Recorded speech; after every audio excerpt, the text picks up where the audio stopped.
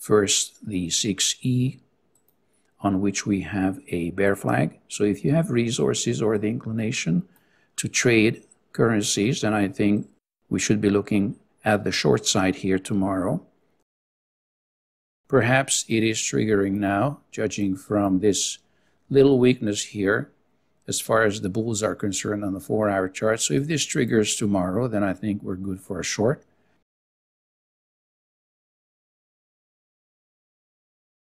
If you are a pattern trader and you say, well, I just trade the pattern and I don't think about it too much, then this is definitely worth a shot to the downside. There's enough structure here or enough room here for silver to give us a good short. And let's also look at the SI because yesterday we mentioned that this is a valid bear flag.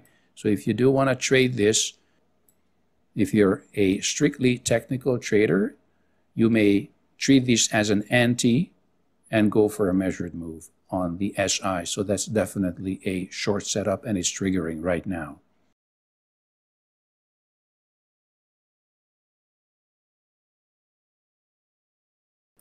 So here's an interesting situation here on oats. Look at this. Not that from yesterday we had a ZO, which oats, which look at that, beautifully triggered to the upside.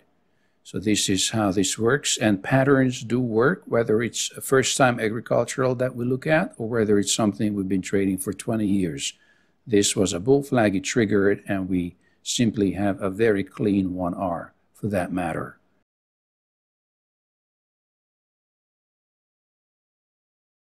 So that's what we're dealing with now. We'll be back in the morning watching the markets. And until then, mindful trading.